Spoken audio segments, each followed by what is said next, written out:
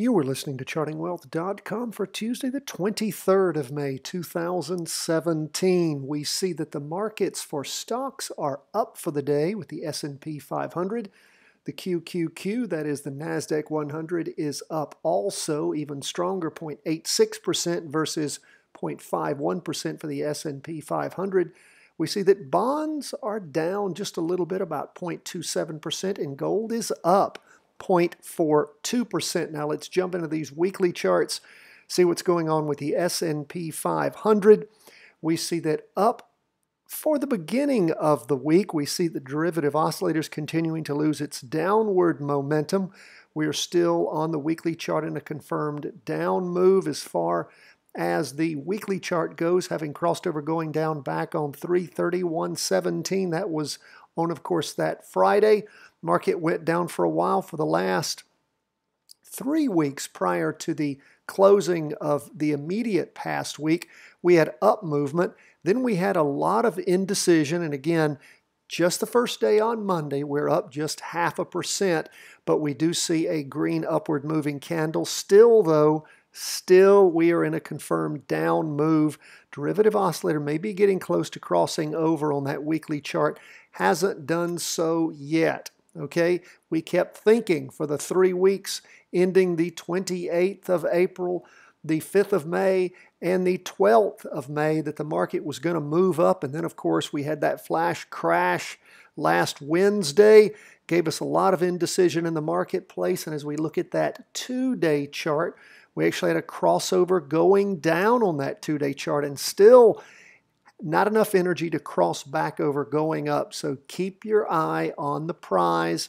We don't have a trade on there just yet. We will continue to see just what is going on with this up move that is troubling us. If you look at the indicators, though, still negative, and the derivative oscillator continued to gain downward momentum. So pay attention to what is going on. Remember our four hour chart?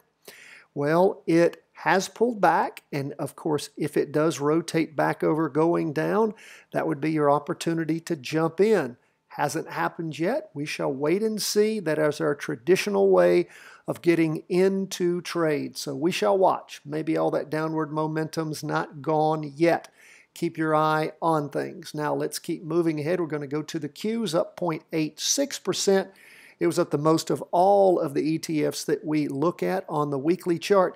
We had that weekly vertical crossover on the week ending Friday, the 28th of April.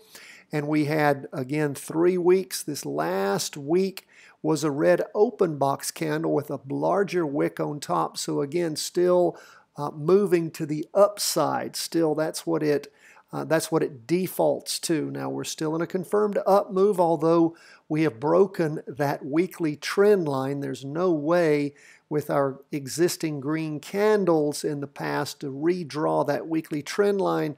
We are above it with the movement that closed throughout the course of the day but actually opened below it.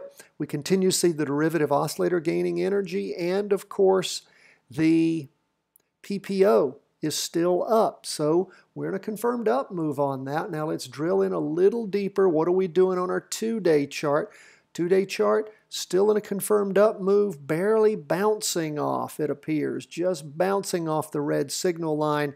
That's not a lot of strong up movement, but we'll continue to watch. Now, if we delve a little deeper into that four-hour chart, what do we see going on? Well, it has not crossed over yet but it may do that. And of course, the pullback has been underway.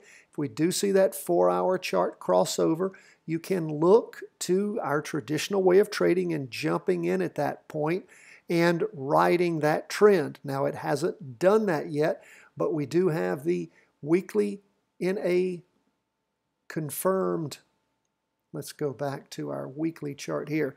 Our weekly chart is a confirmed up move and the two day. And if that four hour crosses back over and heads up, then of course, on our traditional way of doing things, that would be your jumping in point. So let's continue to watch the Qs, see what happens. That crash during Wednesday of the past week is what sort of knocked everything off kilter, but we'll see just how much longer these markets will go up. With that up movement in the market today, what did we see uh, in the stock market in both the Nasdaq 100 and the S&P 500? What did we see happen consequently with bonds? Well, bonds were down 0.27% for the day. Now we see our weekly chart and again our Heikin Ashi candlestick show the average pace increasing. Derivative oscillator lost a little bit of energy. The PPOs continued to go up. We're in a confirmed up move, of course, on our weekly chart, and we are in a confirmed up move on that two-day chart. As we hone into that, we had that crossover going up on the two-day chart ending on Friday.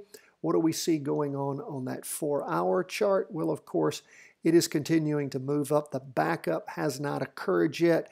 If indeed that backup crossover going down occurs and then you have that momentum changing to go up, that, of course, would be our traditional way of jumping into that up move and riding it up if indeed we see that happen over the course of the week. So keep your eye on TLT also for a potential up move along, of course, with the Qs. Now, lastly, we're going to go to gold. What do we see going on on gold? Well, gold is up 0.42%. It's bouncing off that red signal line as far as the weekly chart goes. We kept thinking for the last two weeks, did we not? We were going to have a crossover going down. We thought it was going to happen and came very close to looking like that was going to occur, but for the stocks going down midweek last week, and we didn't make that crossover on the 19th. We also thought that crossover was going to occur the week before on the 12th of May. Didn't happen then either. We're in a confirmed up move on the weekly chart.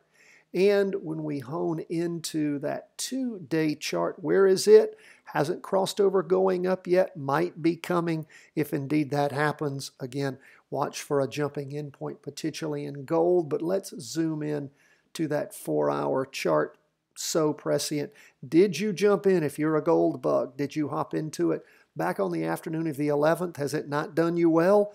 We looked and thought as it was meandering along sideways that it may be getting ready to move down, but of course it popped right up. Derivative oscillators continuing to lose energy, but your PPO, the price percent oscillator, is continuing to move up. So just keep an eye be aware that as far as the high went, gold closed at the high that it made back on the 17th. So again, let's see how much more room gold has to actually accelerate up on this four hour chart. Folks, that's where we are as we end the day on Monday the 22nd and go into Tuesday the 23rd as the beautiful month of May ends up slowly drawing to a close. Don't forget the time of year that we're headed into. Sell in May and go away.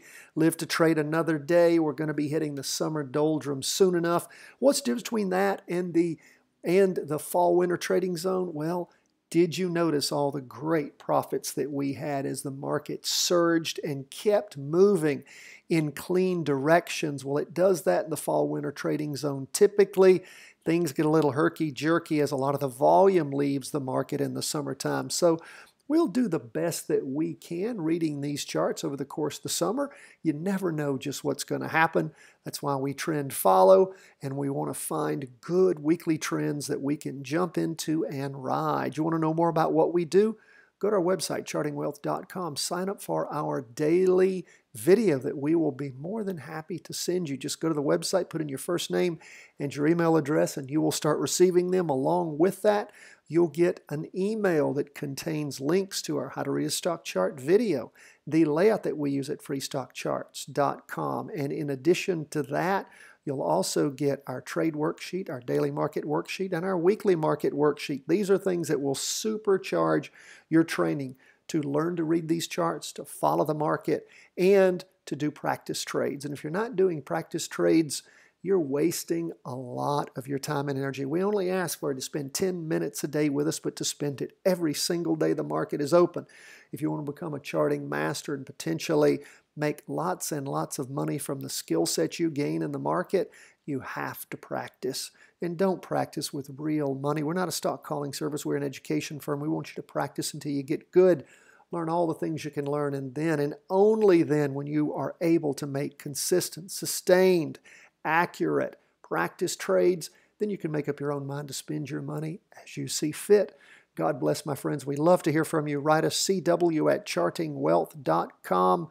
It's always a pleasure to have you with us. All the best from chartingwealth.com.